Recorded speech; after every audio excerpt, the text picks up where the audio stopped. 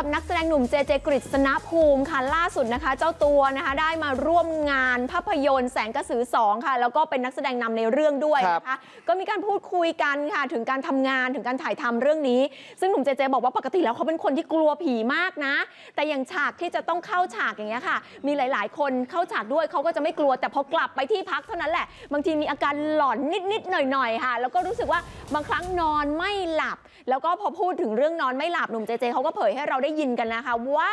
เขาเนี่ยมีอาการนอนไม่หลับจนบางครั้งต้องใช้ยานอนหลับ แต่อันนี้เนี่ยก็อยู่ภายใต้การดูแลของแพทย์เดี๋ยวฟังรายละเอียดนะคะ แต่ว่าคือผมก็มีปัญหาเรื่องแบบหลับยากอะไรแล้วเนี่ยก็เลยแบบต้องใช้ยาช่วยนิดนึงใช่จริงๆจริง ๆ ส่วนตัวผมอะผมก็ใช้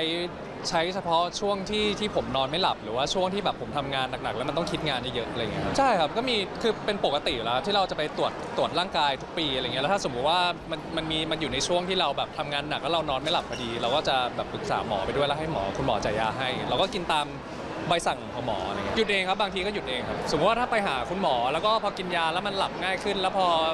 หลูบเวลาหลูบเวลามันกลับมาเหมือนเดิมแล้วอะไรเงี้ยผมก็จะหยุดกิน